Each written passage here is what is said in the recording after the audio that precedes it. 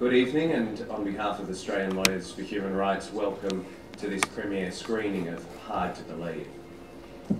Only about 70 years ago, the world was shocked by the mass slaughter of the Jewish people by the Nazi state. People were tortured and killed and experimented on for no other reason than their religion. It is an understatement to say it was hard to believe. The world said, never again and thus was formed the United Nations with a central purpose of promoting and encouraging respect for human rights.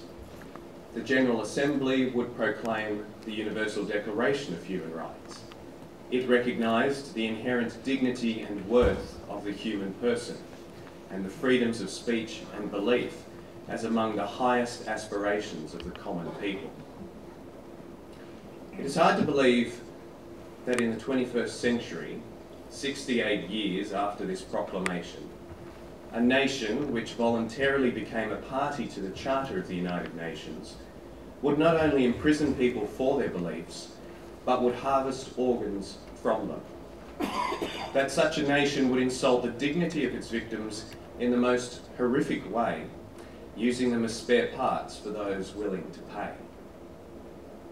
The most recent estimates in the 680-page report by David Kilgour, Ethan Gutmann and David Matas provides conservative estimates of 60,000 to 100,000 transplants per year.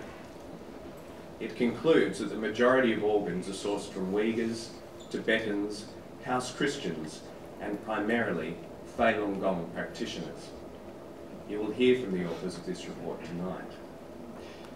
But what can be done against a powerful nation such as China? What good is a 68-year-old declaration against such might? Well, it serves as a reminder that such evil can be overcome, and its words are a rallying cry to action. Professor Jacob Lavee in Israel remembered what happened 70 years ago. His father was a refugee from a Nazi concentration camp. He helped his nation pass a law prohibiting local health and insurance funds financing patients who go to China for organ transplants. You will hear from him tonight as well. Similar action can be taken easily here. In fact, there is a bill ready to go before the New South Wales Parliament to make it illegal for a New South Wales resident to engage in the organ harvesting trade overseas. But it needs support. After tonight, you will know what is happening in China. I urge you to contact your local MPs and let them know too. The Universal Declaration of Human Rights proclaims the recognition of the inherent dignity and the equal and inalienable rights of the, all members of the human family as a foundation of freedom, justice and peace in the world. If we want such a world, we cannot afford to sit dumbfounded in disbelief at what is happening in China. We cannot let this grotesque assault on human dignity go unchallenged. And we have no excuse to turn a blind eye and do nothing. Thank you.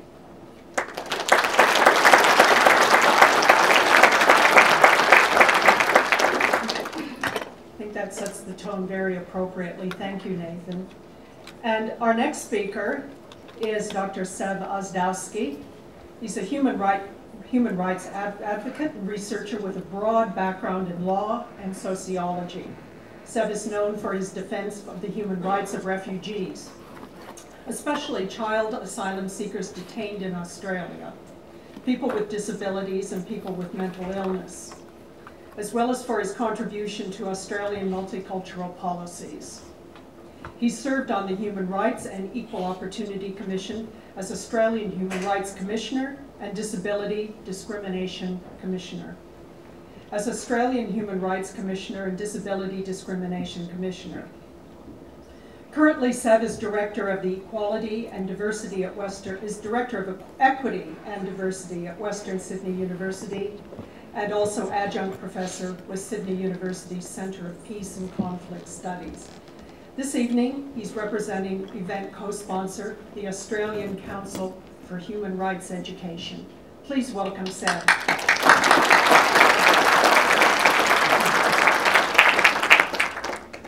Well, thank you, Lee, very much for your generous introduction. Possibly a bit too long, but I know. It's better to be here. It's better to be here than outside because it's so cold. It's so many uh, so good to see so many of you here. So welcome uh, to everyone, especially to distinguished guests in the audience, to fellow uh, DAFA practitioners, and to the sponsors of evening today. Allow me also to acknowledge the Gadigal people as traditional custodians of the land we are, uh, we are gathered at. Now we came here tonight to view hard to believe documentary film and to help uh, raising awareness of organ transplant abuse in China. As you possibly know, the prosecution of Falun Gong started in 1999 some 17 years ago, and it has all hallmarks of genocide. Uh, Falun Gong practitioners are simply murdered, so their corneas, hearts, lungs, liver, trans, uh, kidneys could be stolen for sale to commercial customers. To put it simply, People's Republic of China established a murder industry for profit. And I don't worry about being filmed, and saying it. The first document which reported it, it was Bloody Harvest by David Kilgour, former Secretary of State of Canada, and David Matas, human rights lawyer, and I know both of them well. The new report, which uh, just hit the streets in June this year, updated the previous report and claimed as Nathan said, that 60 to 100,000 transplants per year are done. Officially, when one looks at Chinese statistics, it's less than 10,000. So there is huge, huge discrepancy, but still even 10,000 it's sometimes difficult to explain. But what is of particular concern that the use of Nazi or Soviet-like white propaganda campaign to dehumanize the practitioners, Falun Gong and other victims of this procedure are shown as being dangerous people, either a nationalist or a religious sect who will come to your suburb to steal your children and your money. And now we are starting the Olympics. Would you know that during the Beijing Olympics, laws were passed in China to ensure that Falun practitioners do not participate in Olympics, either as sport people or as uh, people who came just to see performance there. The film we'll watch tonight, Hard to Believe, got a very appropriate title because simply it is difficult to believe that such heinous crime is taking place in the 21st century, but it's also hard to believe that there is so little knowledge, so little opposition, so little public authorities willing to say no to the Chinese.